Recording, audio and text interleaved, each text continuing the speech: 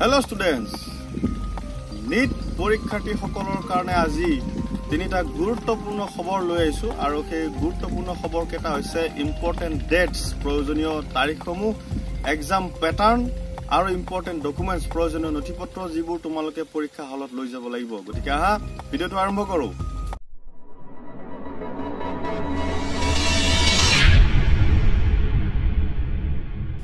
প্ৰথম প্ৰয়োজনীয় তাৰিখটো হৈছে মে'ৰ পাঁচ তাৰিখ।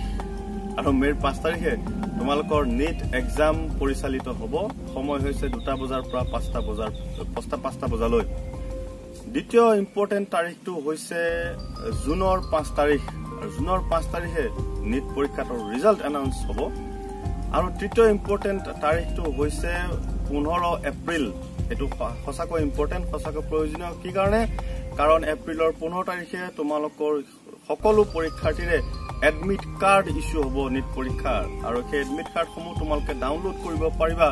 নিটৰ যিটো অফিচিয়েল ৱেবছাইট আছে আৰু অফিচিয়েল ৱেবছাইটটো হৈছে N T A NEET dot nic dot in এতিয়া আহোঁ এক্সাম পেটাৰ্ণৰ ওপৰত। এক্সাম পেটাৰ্ণ মানে পৰীক্ষাটো কেনেধৰণে পৰিচালিত হ'ব?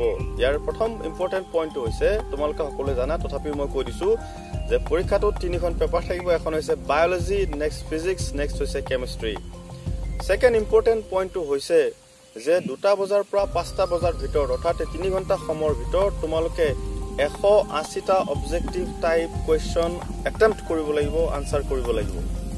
আৰু তিনি নম্বৰ ইম্পৰ্টেণ্ট পইণ্টটো হৈছে যে এই পৰীক্ষাটোৰ ফুল মাৰ্কছ বা টোটেল মাৰ্কছ হৈছে ছেভেন টুৱেণ্টি সাতশ বিছ আৰু এই সাতশ বিছৰ ভিতৰত তোমালোকৰ যদি উত্তৰ এটা ভুল হয় তেনেহ'লে সেই ভুল উত্তৰটোৰ বিনিময়ত তোমালোকৰ এক নম্বৰকৈ কটা যাব। এতিয়া আহোঁ তৃতীয় গুৰুত্বপূৰ্ণ পইণ্টটোলৈ আৰু সেইটো হৈছে ইম্পৰ্টেণ্ট ডকুমেণ্টছ অৰ্থাৎ তোমালোকে কি কি নথি পত্ৰ পৰীক্ষা দিনাখন লৈ যাব লাগিব লগত। আৰু ইয়াৰে প্ৰথম নথিখন হৈছে তোমালোকৰ পৰীক্ষাৰ এডমিট কাৰ্ড কিন্তু এইখন হ'ব লাগিব অফিচিয়েল ৱেবছাইটৰ পৰা ডাউনলোড কৰা প্ৰিণ্টেড কপি এইখন এডমিট কাৰ্ডৰ পিছতে তোমালোকে লৈ যাব লাগিব লগত। একোখনকৈ পাছপৰ্ট ফটো যিখন ফটো তোমালোকে পৰীক্ষা হলত গৈ তাতে আঠা মাৰিব লাগিব।